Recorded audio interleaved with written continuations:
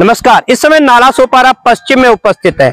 और नाला सोपारा पश्चिम में आप देख रहे हो, बड़ी खूबसूरत इमारतें चारों तरफ़ दिखाई दे रही हैं। लेकिन खूबसूरत इमारतों के सामने जो गंदा शौचालय का पानी नज़र आ रहा है पानी से कई प्रकार की संक्रामक बीमारियों के पनपने का खतरा बरकरार है। वहीं मनपा प्रशासन यहाँ पर इस समस्या के प्रति आँख मूंद करके बैठा है, जबकि यहाँ पर जो सोसाइटी है, इसके आसपास जो और इमारतें हैं, उन इमारतों के पीछे जितने भी रहवासी हैं, इन्होंने भी मनपा प्रशासन को इस समस्या के मद्देनजर पत्र व्यवहार किया है। किंतु शायद मनपा प्रशासन के कुछ गिने चुने अधिकारी जो बेहद निकम्मे व लापरवाह किस्म के हैं, वे आम जनता के प्रति अपनी जिम्मेदारियों के प्रति आँख मूंद करके बैठे हैं।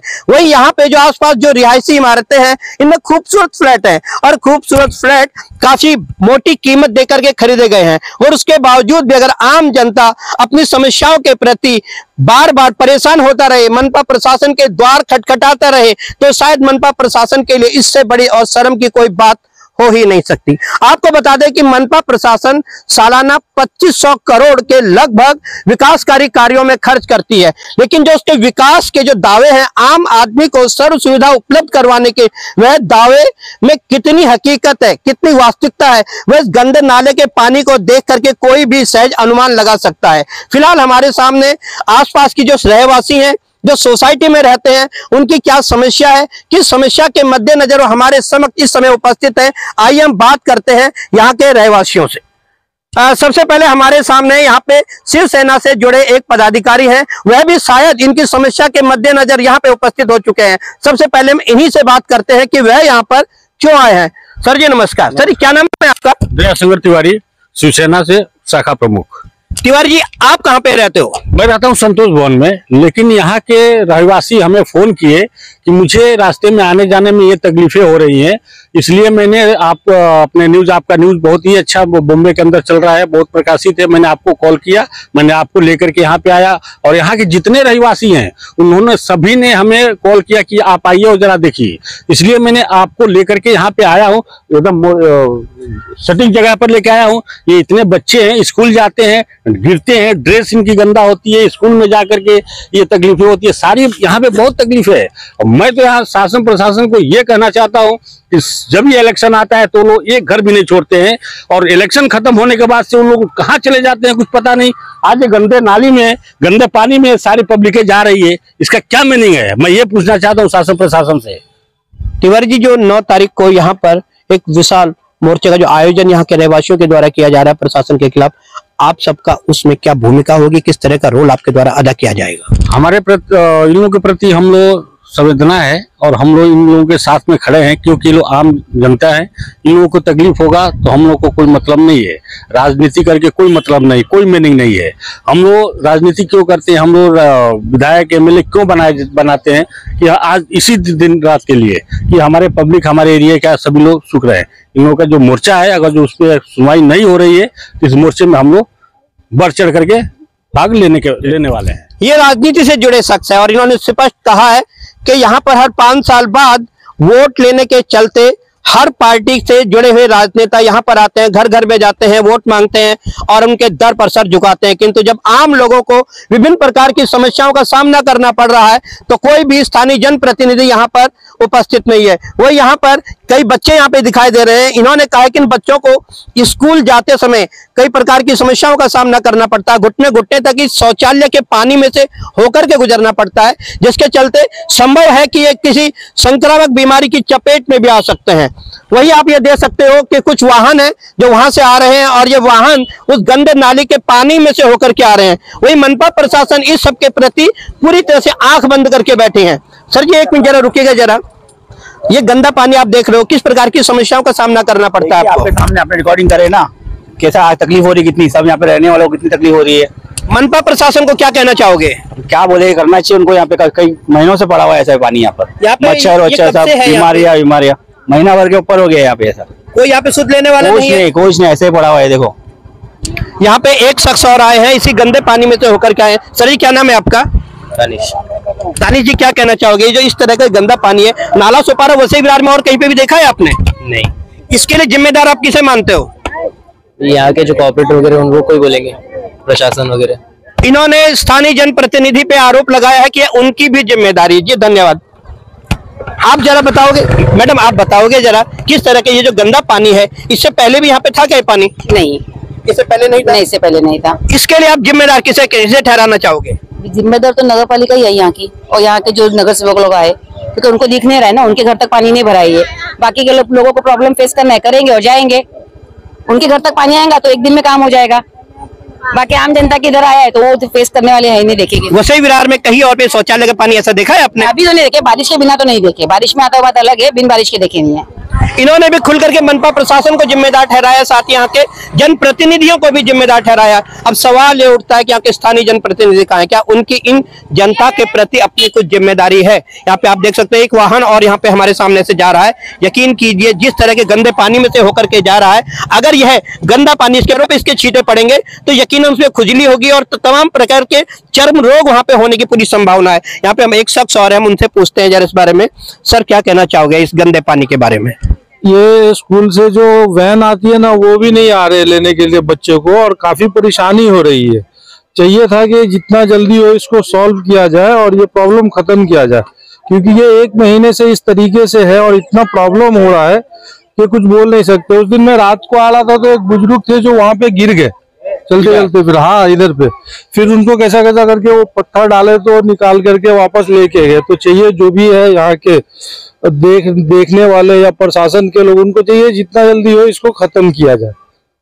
बस यही बोलना चाह रहे हैं। प्रशासन के प्रति लगातार अपना आक्रोश व्यक्त कर रहे हैं। ये कुछ बच्चे हमारे साथ हैं। बेटा बताओगे कि किस तरह की समस्या का सामना करना पड़ता है आपको? हम रोज सुबह जैसे कि स्कूल जाते हैं तो स्कूल जाते समय बहुत सारी परेशानियों के साथ जाना पड़ता है। कपड़े गंदे हो जाते हैं छीटे लग जाते हैं पैर पे या जिसम पे पानी लगने की वजह से एलर्जी हो जाती है बीमारियाँ होती है कई तरीके की। सामान लेने जाना पड़ता है तो भी वहाँ से घूम के जाना पड़ता है। अगर कुछ भी हो जाए तो बीमारी फिर वो दवाई में पैसे ऐसे ऐसे प्रॉब्लम हर तरीके से फ्लो- करना ही पड़ता है क्योंकि बाहर तो यहीं से ही जाना है ना और कहाँ से जाना है? सब अपनी अपनी समस्याओं का इजहार कर रहे हैं एक शख्स और हैं। हम इनसे पूछेंगे कि किस तरह की समस्या है इसका निवारण करने के लिए इन्होंने क्या सार्थक कदम उठाने का प्रयास किया सर जी नमस्कार क्या नाम है आपका? गुलजार हुसैन कसाना। आ, कसाना जी क्या कहना चाहोगे? जो पानी जो भरा हुआ है काफ़ी गंदा पानी है चर्म रोग हो सकते हैं कई संक्रामक बीमारियाँ इससे हो सकती हैं। तो इसमें आपने इस समस्या से निवारण के लिए मनपा प्रशासन का कोई पत्र व्यवहार किया है? जी सर हमने जब से यहाँ पर रास्ते पे पानी जमा होने शुरू हुआ थोड़ा थोड़ा था लेकिन 10 तारीख दिसंबर से ज़्यादा पानी शुरू हो गया यहाँ जमा होना। तो उसी टाइम से हमने नगर पालिका महानगर पालिका को जो है बताया कि ये ऐसे ऐसे हमारे इलाके में समस्या हो रही है तो इसका कुछ हल निकाला जाए। तो उन्होंने एकदम सरसरी लिया मतलब उस पर कुछ ध्यान तवज्जो नहीं दिया और बताया कि हाँ कहाँ हो रहा है आप उसका रिटर्न में कंप्लेंट दे दो। तो हमने वहाँ से जो है वो कंप्लेंट डालना शुरू किया। अभी नगर पालिका में यहाँ हमारे ए वार्ड में भी महानगर पालिका मुख्य मुख्या जो मुख्यालय है विरार में उसमें भी, और जो है उनके उच्च अधिकारियों से भी हमने हर तरीके का कांटेक्ट करने की कोशिश की। यहाँ की समस्या बार बार फ़ोटोज़ और दूसरी चीज़ें जो भी हम उनको अपनी तकलीफ़ बता सकते थे, हमने उनको बारहा बताया। लेकिन हमारे समस्या का कोई भी समाधान तसली बख्श जो है वो कुछ भी नहीं हुआ और ये एक महीने से हम लोग टॉयलेट के पानी में बच्चे हैं लेडीज़ है, आदमी है। ये लोग हम लोग तैयार रहे हैं एक महीने से। ये प्रशासन ने अभी तक कोई आश्वासन नहीं दिया आपको इस विषय पे? आश्वासन छोड़ो वो सुनने के लिए ही तैयार नहीं तो आश्वासन कहाँ से देंगे? अभी इसमें हम जो है इंतहा को पहुंचकर मतलब हमारी परेशानी के दुख को यहाँ तक लेकर के हमने नौ तारीख को एक मोर्चा जो है वो निकालने का ये दिया है उनको पत्र दिया है और हम कल परसों जो है मंगलवार को नौ जनवरी को यहाँ से जो है 200 500 जो भी लोग तैयार हैं, वो डालकर हम जो है वहाँ मोर्चा लेकर जा रहे हैं। उसके बाद अगर मोर्चे से भी नगर पालिका की नींद नहीं खुलती है इस हमारी समस्या का हल नहीं निकालते हैं तो जो है हम आंदोलन करेंगे और यहाँ पर भी और कलेक्टर ऑफ़िस पालघर में भी। आप देख सकते हो कि इन्होंने प्रशासन से पत्र व्यवहार भी किया लेकिन आश्वासन तो दूर किस, इनकी समस्या तक सुनने की उनके पास शायद समय भी नहीं है, ना तो सुनना चाहते हैं। ये मजबूर हो गए हैं आने वाले नौ तारीख को एक बड़ा मोर्चा लेकर के प्रशासन तक जाने का तो सवाल ये उठता है कि सचमुच जब ऐसी समस्या सामने है तो स्थानीय प्रशासन की क्या ज़िम्मेदारी होनी चाहिए? क्या ऐसी मोटी मोटी सैलरी लेने के लिए यहाँ पे है? ये ध्यान रखें, ये सैलरी जो उन्हें मिलती है आम लोगों के खून पसीने से कमाई गई मेहनत का जो एक हिस्सा होता है, उसका हिस्सा जो टैक्स के रूप में प्रशासन को जमा कराया जाता है, उसमें से वह सैलरी मिलती है। उसके बावजूद भी यह जो अधिकारी हैं आम जनता के हितों के आधार पर काम नहीं कर पा रहे और अपने निजी स्वार्थों के आधार पर ही सिर्फ़ और सिर्फ़ सैलरी लेने के लिए अपने पदों पर बैठे हुए हैं। इनकी आखिर कुछ तो ज़िम्मेदारी होनी चाहिए। खास तौर से हम ये भी कहना चाहेंगे कि इस समय जनप्रतिनिधि की क्या भूमिका होनी चाहिए? क्या जो पूर्व नगर सेवक है क्या उसे यहाँ पे आकर, क्योंकि समस्या के मद्देनजर यहाँ पे नहीं आना चाहिए। यहाँ पे जो पूर्व सभापति हैं, क्या उन्हें भी कुछ यहाँ पे देखने, इनकी समस्या के निवारण के लिए कदम नहीं उठाना चाहिए? और जो वर्तमान विधायक हैं, उनकी भी क्या ज़िम्मेदारी है? हर पाँच साल बाद यहाँ पर हर जनप्रतिनिधि आकर के हर घर पे शायद सर झुकाने के लिए तो ज़रूर आएगा, किंतु इन आम जनता के प्रति अपनी ज़िम्मेदारी निभाने के लिए वह कब आएँगे? यहाँ पे एक शख्स और है, हम इनसे पूछना चाहेंगे। सर, बताइए, अब किस तरह की समस्या जो यहाँ पे है, सबने बताया। इसका निवारण भी बता दिया कि अब हम एक बड़ा मोर्चा आयोजित करने जा रहे हैं। अगर सपोज़ मोर्चा सफल नहीं हुआ, तब आप क्या करना चाहोगे? क्या लगता है आपको कि इस विषय पर राजनीति से जुड़े लोगों की हस्तक्षेप होना चाहिए? ज़रूर होना चाहिए। यहाँ पर जो है, एक महीने से अभी तकलीफ़ उठा रहे सब। ये जितने भी बिल्डिंग में रहवासी है, वो लोग यहाँ पे कारोबार है ही नहीं उनका। वो क्या सब उठ के पहला ट्रेन से भागने के सब तैयारी में रहते और घर में जो औरत रहते, बच्चे लोग को स्कूल छोड़ना, ले आना, उनका ज़िम्मेदारी रहते। अभी स्कूल में बच्चे लोग को लेके जावे, ये गंदे पानी से उनके कपड़े खराब हो जाते, कितने बच्चे गिर जाते, कई बच्चे। उनको सब तकलीफ़ बहुत हो रही है। इसके वजह से तुम देश भर में स्वच्छता अभियान का ये चलाते हैं, लेकिन यहाँ पे अपने घर के आसपास भी तुम देख रहे नहीं है। ये कौन सा स्वच्छता अभियान है? इसको प्रशासन ध्यान देना चाहिए, जल्द से जल्द इधर काम करना चाहिए। नहीं तो हम लोग नौ तारीख को एक बड़ा यहाँ पे आंदोलन करने वाले हैं। उससे पहले पहले से आप इसका बंदोबस्त कर दीजिए। और सर, ये जो पानी के बारे में हमारी समस्या तो है ही है। ये जनवरी में ऐसा गटर का पानी बाहर आ गया है तो उसके बारे में हम बता रहे हैं। जब ये जनवरी में गटर के पानी के लिए जो है नगर पालिका की नींद नहीं टूट रही है, वो हमारे इस तकलीफ़ का समस्या का हल नहीं निकाल पा रहे हैं। तो जब ये बारिश का टाइम शुरू होगा और ऊपर से बारिश होंगी तो उनके पास तो आज जब जवाब ऐसे दे रहे हैं वो तो बारिश के टाइम में तो वो बोलेंगे ऊपर वाला दे रहा है। तो ऊपर वाला जब देता है किसी को तो फिर उसकी कोई नाप तोल नहीं होती है तो फिर उनको कोई जवाब भी नहीं देना है। हम क्या करें? जैसा अभी नगर पालिका वालों ने हमको बताया था कि आप लोगों ने फ्लैट लेते टाइम में जो है, वो सब चेक करके लेना चाहिए था। हमने रास्ता देखा, रास्ता बिल्डिंग तक का है, सही है। अब जो है, वो गटर कहाँ से है? पानी जब निकल रहा है तो वो जाकर थोड़ी ना टॉयलेट में चेक करेंगे, पानी बाहर किधर से निकलता है? इतना गैर जिम्मेवाराना जवाब जो नगर पालिका ने जो सवाल किया कि आपको गटर लाइट रास्ता चेक करके लेना चाहिए था। अगर सर ये सब हमको चेक करना है तो नगर पालिका जो टाउन प्लान वाले हैं, वो जो सीसी देते हैं ओसी देते हैं, उनको क्या काम है? उनको जो है वो चले जाना चाहिए। अब रेड्डी साहब ने जो है यहाँ पर सीसी जो है ऐसा रद्दी पेपरों के जैसा और ओसी बांटे हुए हैं कि जिसकी वजह से ये हाल एरिया का हम देख रहे हैं। हमारी सबसे बड़ी चीज़, हम इस चीज़ के लिए देखो, एक महीने तक हम इस पानी के अंदर नहा लिए, तैर लिए।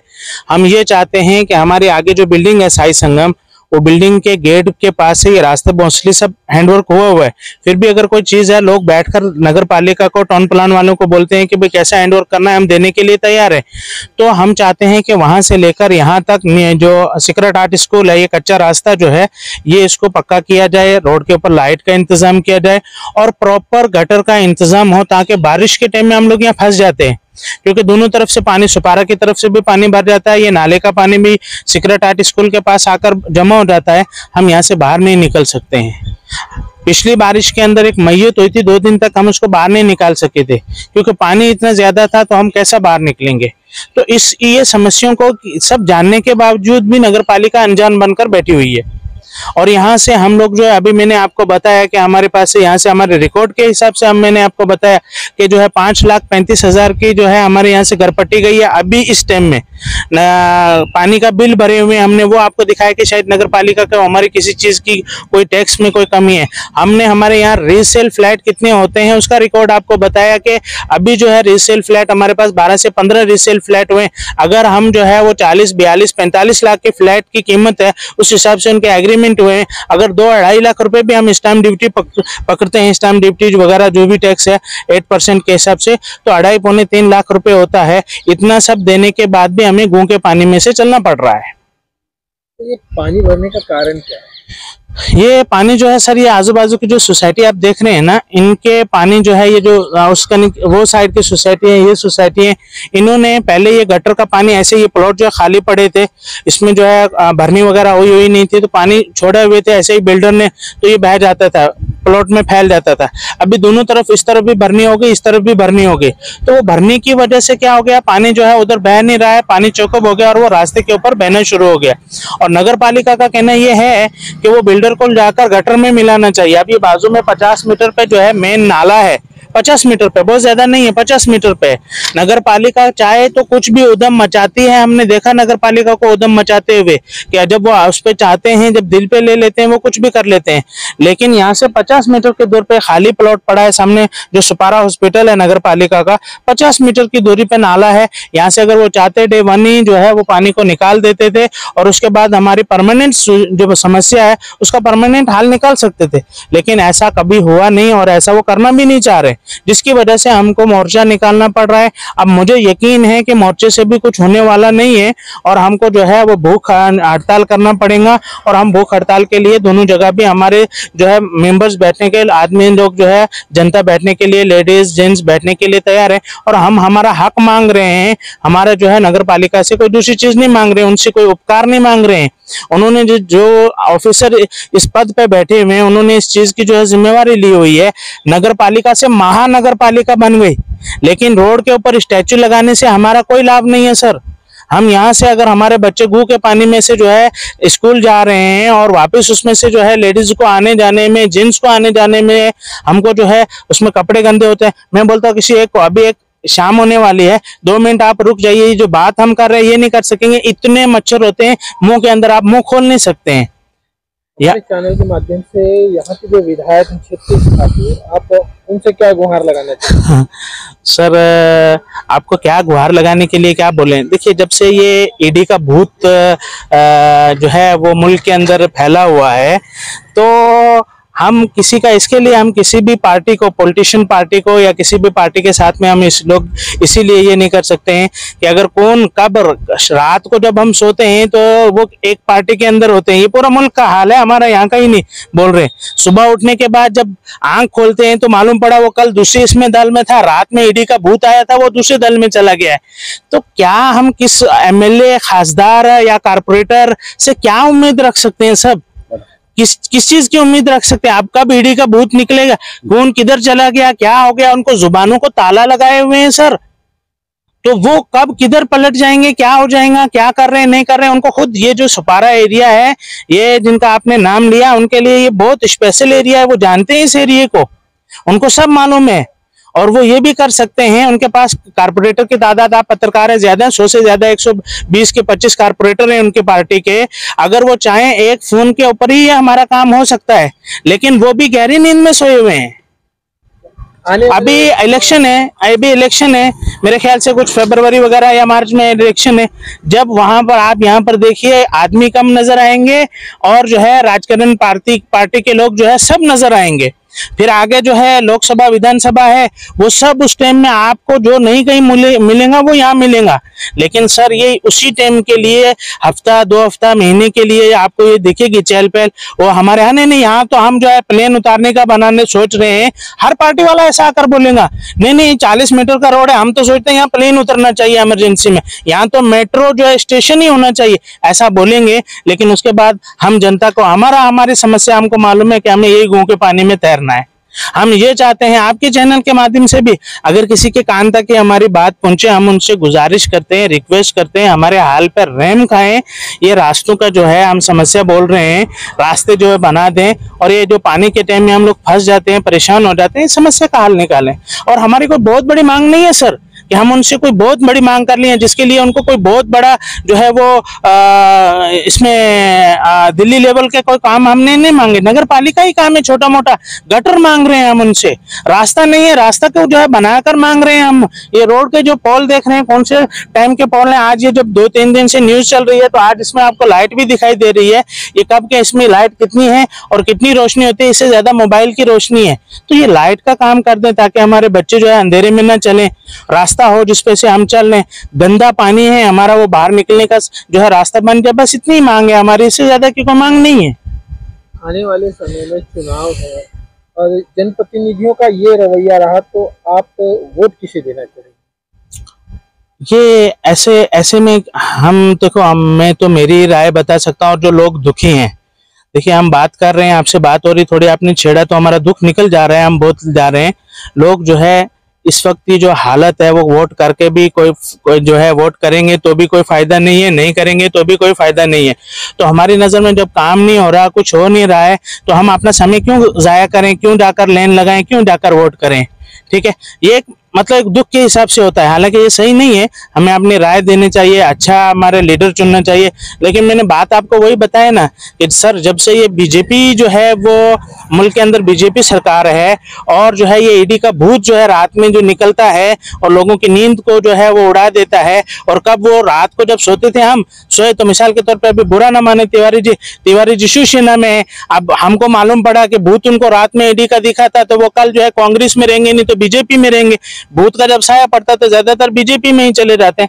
हमारा किसी पार्टी से कोई ये नहीं है, जो हमारे काम करने से मतलब है। वो चाहे कपड़ा आप कैसा भी पहन लो, सफ़ेद पहनो, कोई भी कपड़ा पहनो, कपड़े पहनने से ये नहीं चेंज होता। आपकी सोच, दिमाग चेंज होना चाहिए कि हमने लोगों से वादे किए हैं, एरिया है, इलाका है, मुल्क की, देश की तरक्की है, उसमें हमें काम करना चाहिए। इन्होंने सही कहा कि देश भर में जो स्वच्छता अभियान चलाया जा रहा है, एक प्रकार से झूठा है और सचमुच स्वच्छता अभियान में थोड़ी सी भी ताकत होती तो यहाँ पर यह गंदा पानी नहीं होता है। साथ ही इन्होंने कहा कि नौ तारीख को जो हम एक मोर्चा लेकर के जाने वाले उस मोर्चा में ये जो आसपास जितने भी रहवासी हैं, तकरीबन सैकड़ों परिवार रहते हैं, सैकड़ों परिवार को यहाँ से आने जाने में जो समस्या होती है, उस समस्या के निवारण के लिए सभी मोर्चे में शामिल होंगे। अन्य लोगों का भी मोर्चे में भारी तादाद में शामिल होने का अंदेशा जताया जा रहा है। और अब देखना यह होगा कि जो पहल अन्य मीडिया और हमारे के द्वारा की जा रही है, आम जनता की समस्या को प्रशासन तक पहुँचाया जा रहा है। अब प्रशासन के कान पे झूठ कब रेंगेगा, यह देखने की बात होगी।